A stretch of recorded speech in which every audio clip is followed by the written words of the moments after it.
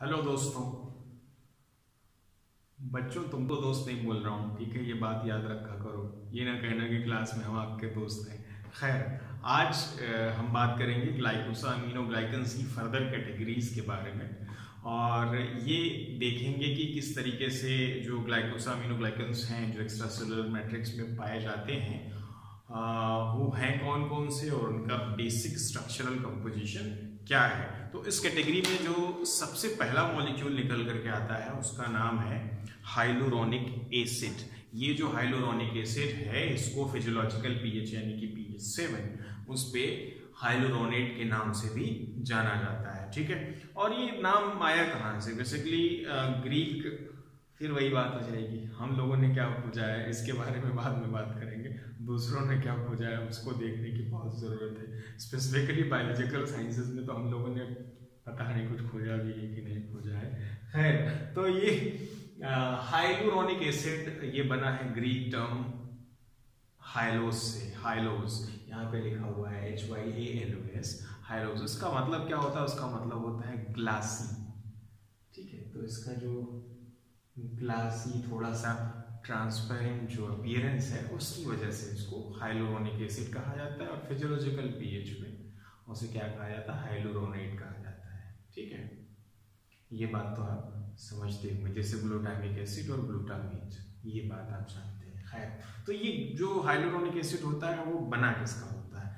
इसमें इस hyaluronic acid का जो बेसिक स्ट्रक्चर है, उसमें डाइसेकेराइड रिपीट्स पाई जाती हैं और वो जो डाइसेकेराइड रिपीट्स हैं, यानी कि उसमें दो मोनोसेकेराइड्स हैं, वो डाइसेकेराइड रिपीट्स दोनों अलग अलग हैं। तभी तो हम लोग क्या पढ़ रहे हैं? तभी हम लोग हेट्रोपॉलीसेकेराइड पढ़ रहे हैं तो होमोपॉलीसेकेराइड पढ़ते तो ये जो हेट्रोपॉलीसेकेराइड आप पढ़ रहे हैं, इसमें हाइलोरोनिक एसिड में इसमें डाइसेकेराइड रिपीट्स होती हैं। वो डाइसेकेराइड रिपीट्स आपस में जुड़ी होती हैं beta one three glycosidic linkage से वन थ्री इसके पहले नाम नहीं सुना होगा। ठीक है, इसके पहले वन फोर वन सिक्स पे एक जगह पे वन वन नाम मैंने आपको बताया है। वो लेकिन डाइसेकेराइड के केस में था, ये पॉलीसेकेराइड है। तो ये जो डाइसेकेराइड रिपीट है यहाँ पे, एक होती है डी ग्लूकोरोनिक एसिड, ये ये आपकी डी ग्लूकोरोनिक एसिड है, ये। ये ग्लूकोरोनिक एसिड में है क्या है नया क्या है? ग्लूकोज का मॉलिक्यूल है ना, उसके छठे कार्बन पे ये जो C H two O H लगा हुआ है ना, इस C H two O H को हटाओ। और यहाँ पे सीधे लगाओ ये। ठीक है? तो यहाँ पे मैं आपको इन शॉर्ट छोटा सा दिखा सकता हूँ बहुत जल्दी से कि ये रहा ये रहा ये रहा ये रहा। अब बीटा है। बीटा का मतलब क्या हुआ? सिस या ट्रांस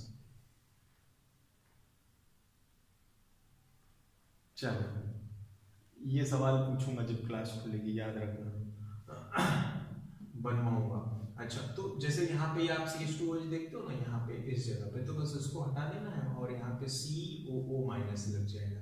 तो ये तो आपका ग्लूकोरोनिक एसिड का एग्जांपल हो गया। एनएसिटिल ग्लूकोसामिन पता है। तो जो दो डाइसेकेराइड रिपीट्स हैं, उस डाइसेकेराइड में एक मोनोसेकेराइड है डी ग्लूकोरोनिक एसिड और दूसरा है एन एसिटिल ग्लूकोसामिन ये दोनों beta one three glycosidic linkage से जुड़े हुए हैं और ये बना रहे हैं क्या? हाइलोरोनिक एसिड की बेसिक यूनिट बना रहे हैं। तो तकरीबन इस तरीके से लगभग 50,000 डाइसेकेराइड रिपीट्स मिल करके एक हाइलोरोनिक एसिड का स्ट्रक्चर बनाती हैं उस स्ट्रक्चर का निर्माण करती हैं जिसका मॉलिक्यूलर वेट होता है अराउंड वन मिलियन अब आपको पता ही होना चाहिए कि जो मॉलिक्यूलर वेट है उसकी कोई यूनिट नहीं होती वो यूनिट लेस होता है।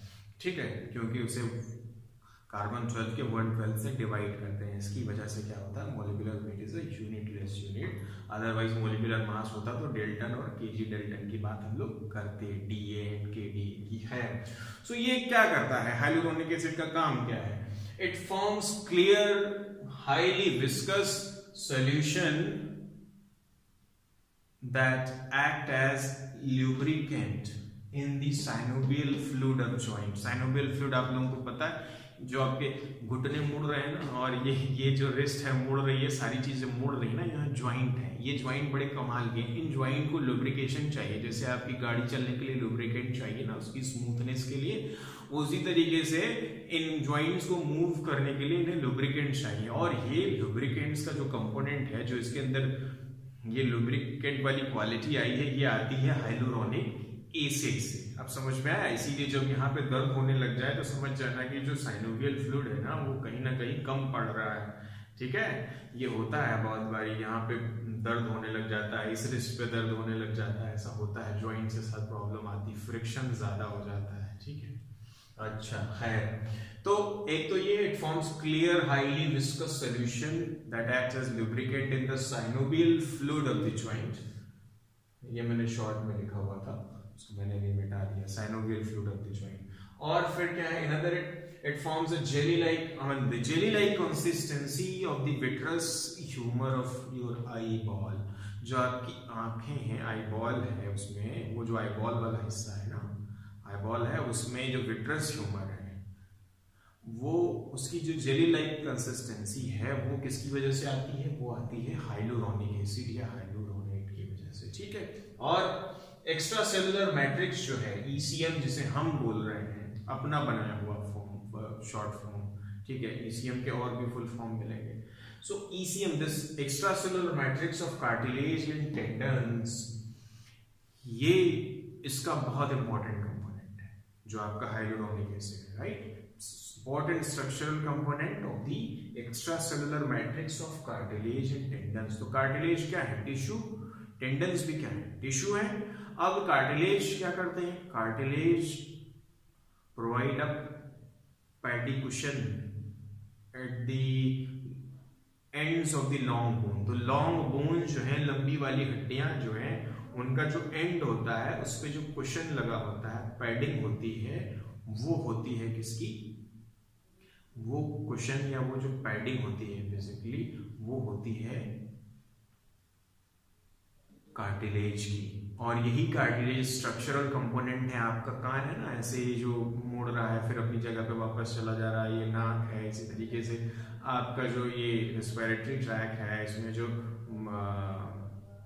ब्रोंकाई वगैरह है, इसके भी स्ट्रक्चरल कंपोनेंट तभी वो, ठीक है इवन ब्रोंकियल रिंग जो होती है, उसका भी स्ट्रक्चरल कंपोनेंट जो है, वो कार्टिलेज है। उसमें भी अलग अलग कैटेगरी के कार्टिलेज है। मैं कार्टिलेज नहीं पढ़ा रहा हूँ, मैं एनाटॉमी नहीं पढ़ा रहा हूँ, मैं पढ़ा रहा हूँ बायोकेमिस्ट्री है तो वहाँ हो गया, और टेंडन्स क्या है? टेंडन भी एक तरीके का कनेक्टिव टिश्यू है। ये क्या करते हैं? ये करते हैं ये आपकी बोन्स को मसल से जोड़ते हैं। आपकी जो मसल्स है ना, जो आपकी बाइसेप्स है, यहाँ पे हड्डी पे लगी हुई है, वो ऐसे नहीं लगी हुई, उसके बीच में कुछ है, उसका नाम है टेंडन वो टेंडन क्या करता है? आपकी गोश्त को मसल्स कह लीजिए, उसको और आपकी हड्डियों को जोड़ के रखता है। वो एक साथ रहते हैं, ठीक है? अगर टेंडन हटने लग जाए तो हड्डियाँ जो है गोश्त छोड़ देंगी। ये बात याद रखिएगा। ये कहा जाता है कि हड्डियाँ गोश्त छोड़ देंगी गाँव में बहुत कहावत होती, खाना खाने के बाद मत नहाओ, नहीं तो हड्डी गोश्त छोड़ देगी ऐसा बोलते हैं। ऐसी बहुत सारी कहानियाँ हैं हिंदुस्तान के हर गाँव में। है तो टेंडन्स और कार्ट जो जो कार्टिलेज है, इनमें जो एक तरीके की जो प्रॉपर्टीज़ आई हैं रिमार्केबल प्रॉपर्टी है, चाहे वो इलास्टिसिटी की बात आ रही हो। ये है ना इलास्टिसिटी है तो ये देखो। इलास्टिसिटी की बात आ रही हो चाहे टेंसाइल स्ट्रेंथ की आ रही हो। टेंसाइल स्ट्रेंथ का मतलब यहाँ पे है कि कितना स्ट्रेस बियर कर सकता है वो कितना प्रेशर उसे आप, फोर्स अप्लाई करेंगे तो कितना स्ट्रेस वो जो है बियर कर सकता है स्ट्रेच करने पे खींचने पे इस तरीके से। ठीक है? मैं फिजिक्स वाला नहीं हूँ। फिजिक्स के लिए किसी और से बनता है। तो ये जो चीज़ें आई हैं इलास्टिसिटी और tensile strength of cartilage and tendon वो भी कहीं ना कहीं इसकी वजह से आई है हाइलोरॉनिक एसिड की वजह से आई है, उनमें जो ये क्वालिटीज आई ठीक? अब बात करते हैं कि ये तो हो गया, इसका रोल हो गया छोटा सा रोल हो गया स्ट्रक्चर हो गया। स्ट्रक्चर में क्या है? स्ट्रक्चर में, इसके स्ट्रक्चर में है क्या बेसिकली इसके स्ट्रक्चर में आपको मिलेगा डाइसेक्राइड रिपीट मिलेगा। वो डाइसेक्राइड रिपीट किसका बना होगा? उस डाइसेक्राइड रिपीट में एक मोनोसेक्राइड होगा डी ग्लूकोरोनिक एसिड जैसा कि आपको अभी स्क्रीन पे दिख रहा है। और दूसरा होगा एन एसिटिल ग्लूकोसामीन ये दोनों आपस में कैसे जुड़े होंगे? Beta one three glycosidic linkage से, यानी दोनों ही मोनोसेक्राइड जो है, वो बीटा कन्फिग्रेशन में हैं। ठीक है? और ऐसे तकरीबन फिफ्टी थाउज़ेंड रिपीट्स आपस में जुड़े होंगे, और वो जो होंगे, क्या बना रहे होंगे? वो बना रहे होंगे हाइलोरोनिक एसिड ठीक है? ये चीज़ आपको स्क्रीन पे देखी थी अभी। हम्म। अब बात करते हैं कि इसका क्लीवेज कैसे हो सकता है कैसे तोड़ा जा सकता है। तो beta one three glycosidic linkage की जो बात है जैसे पैथोजेनिक बैक्टीरिया होते हैं वो पैथोजेनिक बैक्टीरिया एक एंजाइम सिक्रीट करती है जिसका नाम होता है हाइलूरोनिडेज वो क्या करता है? Hyaluronidase enzyme is a hydrolytic enzyme. It can hydrolyze the beta 1,3 glycosidic linkage and therefore it can hydrolyze the hyaluronic acid. उसका नाम ही बता रहा है। तो hyaluronic acid को वो तोड़ सकता है ग्लाइकोसामिनोग्लाइकन को वो हाइड्रोलाइज कर सकता है। इसका मतलब वो अपनी पैथोजेनिसिटी कॉज करने के लिए ये हाइड्रोलिटिक रिएक्शन कैटालाइज करता है। राइट सो तो बैक्टीरियल इन्वेजन जो होता है, उससे इन टिश्यूज पे जहाँ पे हेलोरोनिक एसिड पाया जाता है, वहाँ पे बैक्टीरियल इन्वेजन स्मूथ हो सकता है इजी हो सकता है if a pathogenic bacteria possess the enzyme hyaluronidase right इसी तरीके से बहुत सारे ऑर्गेनिज्म के स्पर्म में भी इसी तरीके का एंजाइम होता है right the sperm of many organism contains such hydrolytic enzyme and that hydrolytic enzyme can hydrolyse the glycosaminoglycans found in the outer coat around the ovum तो ओम के चारों तरफ़ जो आउटर कोट है, उसमें जो ग्लाइकोसामिनोग्लाइकन है, उसको हाइड्रोलाइज कर देगा। स्पम में जो एंजाइम है और जो स्पम होगा, उसकी एंट्री जो होगी, उसमें वो हो जाएगी, आसान हो जाएगी। तो यहाँ पे आप देख रहे होंगे इस तरीके से।